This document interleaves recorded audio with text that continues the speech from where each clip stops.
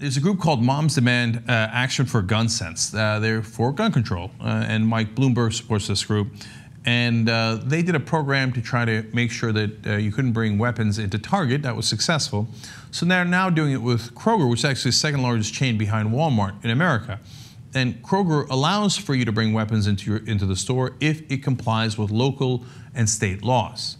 And now Guns, uh, Mom, Moms Demand Action for Gun Sense wants to change that. So they've started running ads. I want to show you the ads because they're, well, they're striking, and it's hard to not see their point.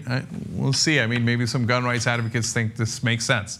So here are three of the ads that they're running. The first one, they say, uh, as you can see here, one of them isn't welcome, welcome at Kroger. Guess which one? Now, every one of them says that.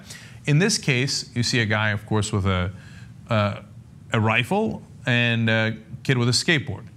Of course, the correct answer is the skateboard is not allowed at Kroger. That's dangerous. Whereas that assault rifle is perfectly allowed. Isn't that unbelievable? Gets worse.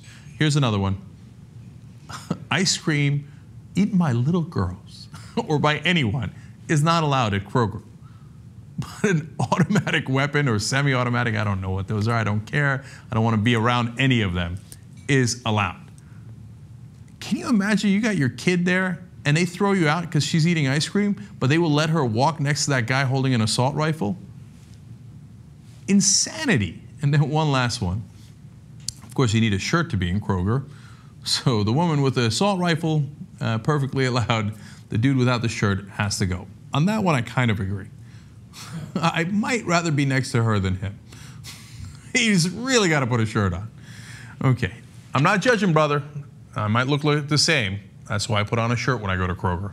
And I also leave my weapons, my non existent weapons, at home. Okay. This is crazy, man. This is much worse than the OK Corral, much worse than anything we had in the Wild Wild West. In fact, at the OK Corral, we had a shootout because normally you had to turn your weapons in when you came into town. Forget going into the grocery store. The minute you entered the towns in the Wild Wild West, you had to turn your weapons in in most of the towns.